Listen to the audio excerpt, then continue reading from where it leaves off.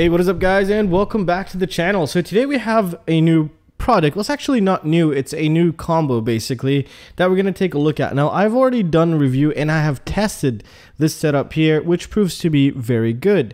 Now, what you get here is a 4-in-1 ESC F4 flight controller, fully specced out, 6S capable. However, I did not test on 6S, so you have to search the web or wait for my 6S test and they also provide you with an FPV camera, which is a proper camera from Caddx. And Caddx always proved to me to have the fastest cameras in the market in terms of latency and good quality.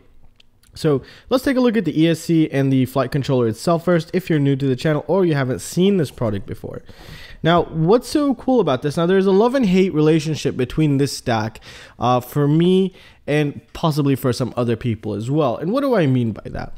Well, first thing, you have no pads to connect any of your interfaces, such as the camera, such as the VTX, such as uh, uh, your receiver. But what they do instead, they make it very simple for you to set up. Now you might say, okay, well, how? Well, what they do is they provide you with exactly every single wire needed. So if you're not really good at soldering, and I've seen a couple people's uh, soldering jobs before, uh, this will save you time and headache and a possible burned out flight controller, which is really nice. So they also provide you just with the normal connectors, just to basically wires here, which you can extend. But if you take a closer look inside, you can find one for just about everything. For example, this would be for S-Bus, which you would connect it to the correct port, which everything is labeled also, and nice to see here.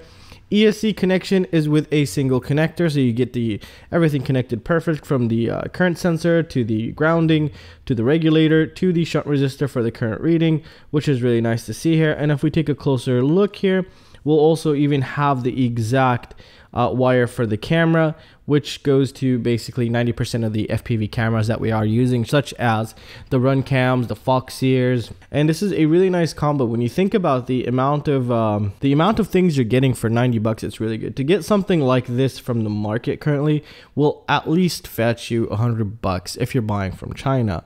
Um, some kind of oh, it can go up to 120. So to get this for 90 bucks here is a really really good deal because all you're left with getting is the VTX motors and frame and obviously the receiver and they provide you basically everything here. Now the flight controller on here is a full-fledged flight controller with everything.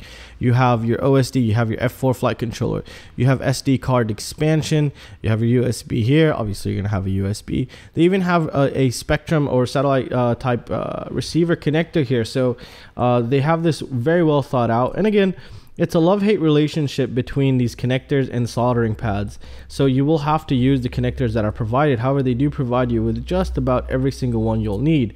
And they have the whole thing set up as you can tell here with uh, rubber damp just everything is damped here. Even here they provide you with o-rings for the esc to keep it damped also. And the type of connection which is with wire also reduces the chances of you breaking the pins and also uh, having the vibrations seep into the flight controller's gyro. And again we're using the mp6000 gyro so we really have nothing to worry about in that perspective here. Now if you take a closer look here i didn't notice this before we have a regulator on board. And i think this is a 12 volt regulator. Now what's so cool about this? Well this has this advantage advantages and its disadvantages. Now, one of the biggest advantages here, if you're going to be powering off your VTX from the 9 from the 12 volt regulator, and I do believe this has a 12 volt regulator on board. So if you're going to be powering off your VTX from the 12 volt regulator on board, this is really nice to see. And why is that really nice to see? So this is a linear voltage regulator and um, they're not as efficient as the switching regulators. Most of the equipment we're receiving now has a switching regulator, and switching regulators are a little uh, susceptible to noise a lot more than a linear voltage regulator, as we can tell here. So this is nice in that perspective. This will increase the chances of you having a very good, uh, clean video feed. Now I did go ahead and do test noise, and as you can tell here, we also have another uh, linear voltage regulator. This improves the overall, not efficiency, but it doesn't really matter that we're having some power loss, but the filtration should theoretically be absolutely phenomenal. However, and again, now for a 6S setup, if you take a closer look, now the MOSFETs here they're using, I think these are the 3x3 MOSFETs, they're not really they can handle 6s but i personally wouldn't recommend using them on a 6s possibly in a very hard crash you might pop a a a what is it called a uh, a MOSFET or two but take that into consideration. But if, I think a 4 5S setup will absolutely be phenomenal on this. Filtration all board looks really good for a flight controller. Uh, we're not really getting seeing that much lately of filtration on flight controllers. Usually we're just relying on the ESC's filtration, hoping for the best, and uh, basically crossing our fingers. Now I don't see a barometer and uh, anything of that nature here. Let me just just double check everything. Yeah, so basically filtration looks good. We do have SD card expansion. Like I mentioned, everything is using connectors here. So if we even take a closer look, everything is really nicely labeled. So that's a huge plus, especially if you're new and you're not really good at soldering or you just can't see that close or you just want to build a quadcopter without having to worry about soldering. Uh, this would be a really good uh, this would be a really good setup for you. Uh, this is basically a premium setup here, so uh, you're not going to be left behind with like just a, a crappy setup. So they've gone for ease of use here and ease of replacement, especially if you're racing. I don't know if you'll be using this if you're racing, but if you are racing, that'll just make things a lot easier for you because pull the connector, pull all the connectors, remove this, bring the new flight controller, put in the connectors, and uh, you're good to go again. So that's really nice in that perspective. Uh, overall, this tested good. The camera quality is really good. Unfortunately, I can't really give you the, the, the video footage of the camera quality because uh, it's I've been having really terrible weather these past four days, and I haven't been able to leave the uh, the shop here to test out any of the things that I'm actually waiting to test out.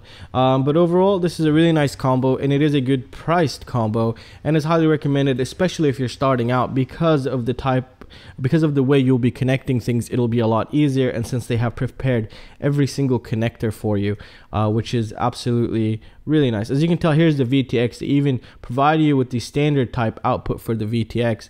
Now, some VTXs will come that you have to solder onto. Then you just solder. You just grab one of these and you just solder it and you're good to go. So here you're getting everything. You're getting all the ESCs, the flight control, the OSD, even the camera for a really good price. And this is a proper setup here and it's nothing cheap. So if you're looking for a nice, I would consider this a mid-range setup um, then this would be uh, one for you. But if you're looking for a 6S, I would definitely try not to use this on a 6S you can get away with using it but personally uh, me personally from what i have used and what i have seen i wouldn't really i'd always just check at least the size of the MOSFETs that's just one telltale sign of uh, how, how well it's going to perform on a 6S because we can get some very massive voltage spikes induced through crashes on a 6S. Even on a 4S, we get some pretty massive ones. So on a 6S, it'll be even a lot more. So take that into consideration. They do also provide you with the low low uh, low ESR capacitor, which is a Rubycon 25 volt 330 microfarads. Um, this is nice to see here, and let me explain why. Uh, the filtration on board seems to be really good. For them to provide you with such a small one, that means um, it doesn't really need much extra filtration on board. So that's really nice in that perspective. And we will see this on a build. I do have a 4-in-1 ESC testing setup that you will see on the channel very soon for real world testing. And um, I'll probably also stick this version into the ESC tester and uh, go ahead and see how well this performs. This is just an overview if anyone wanted to see this product before purchasing it. And well, that's it guys. That's gonna conclude it for this video guys. I really hope you guys enjoyed it. And um, I'll see you in the next one. Peace out.